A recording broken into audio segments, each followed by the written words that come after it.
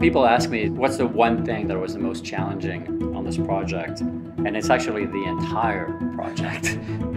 I think it's incredible that we're able to put essentially a full-blown computer into a form factor like this. Our expectations of a product that is on the wrist is that it's going to be durable like a watch, that it's going to be fashionable like a bracelet. In a breakthrough like the UP, there's a lot of new ways of making that need to be invented, new ways of testing the product that need to be invented. We, we figured out after a lot of trials and errors and invention actually. The biggest issue is in the molding. It's electronics inside of such a small form factor. So you had to solve these big challenges of, of making it very rugged, very durable, but yet very light, very easy to put on, and then also, you know, completely immune to water and, and liquids.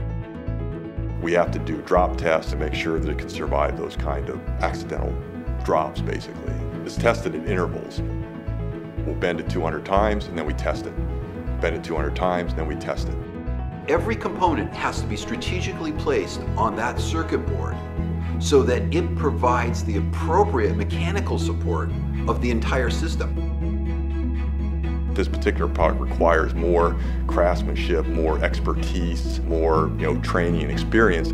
Therefore, in order to make it work all the time, you need to have a lot of breakthroughs in hardware and software to make that possible. It's extraordinarily different. It's really the first generation of you know, what is going to be something that, that is going to be part of everybody's life in a few years.